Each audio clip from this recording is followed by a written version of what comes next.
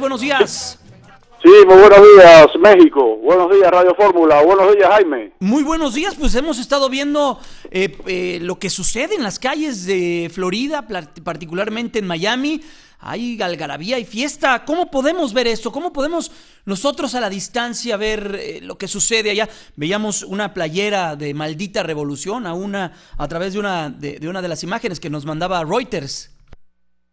Bueno, tienes que eh, asimilar y la gente, bueno, tiene que asimilar que estamos hablando de la capital del exilio anticastrista, ¿no? Miami. Y frente a las afueras del principal sitio, que es el restaurante Versalles, sitio tradicional de las manifestaciones anticastristas, de reuniones, etcétera, durante toda esta década, es donde nuevamente, espontáneamente, centenares de cubanos han salido desde que se enteraron de esta noticia. Esta noticia eh, llegó aquí a, la Florida a poco más de la medianoche, después que el, presidente Raúl Castro, en una escueta nota en la televisión nacional, anunciara el, el deceso de, del exgobernante y su hermano mayor de 90 años, Fidel Castro, que bueno, ustedes saben que eh, tiene muchos que lo admiran, otros muchos que lo eh, le reprochan y así no hay que descartar, eh, hay que asegurar que es una personalidad que ha jugado un papel en la historia latinoamericana, ¿no? De esto, de este siglo y de finales de la segunda mitad del siglo pasado. Es una realidad.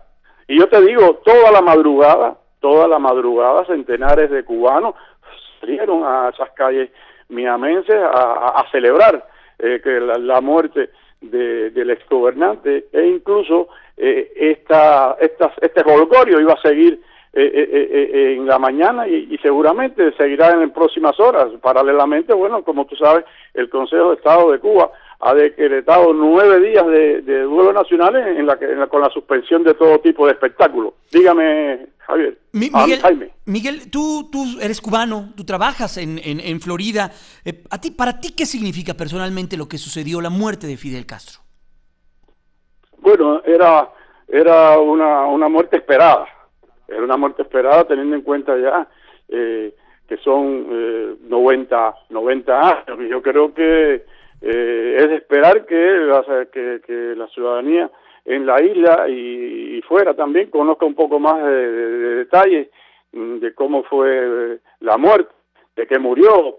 no, no se ha dicho nada, se, se, ha dicho solamente de que se esperaba una comisión organizadora que dijera mm, sobre los datos y los detalles de cómo será eh, eh, las honras fúnebres. No olvidar que hace unos años, tres o cuatro años ya atrás, era público los trabajos de remozamiento en torno al cementerio de Santa Ifigenia en la segunda provincia del país, que es Santiago de Cuba, y allí donde radican, allí donde reposan los restos de nuestro apóstol, de nuestro héroe nacional José Martí. Así que todo está enfilado a que eh, los restos de Castro irán hacia ese sitio, que por cierto también debo comentarte que me llamó la atención el hecho de que, que se anunciara su cremación, o sea, va a ser cremado. Yo pensaba que, que mucha gente como yo pensaban que no iba a ser así, ¿no?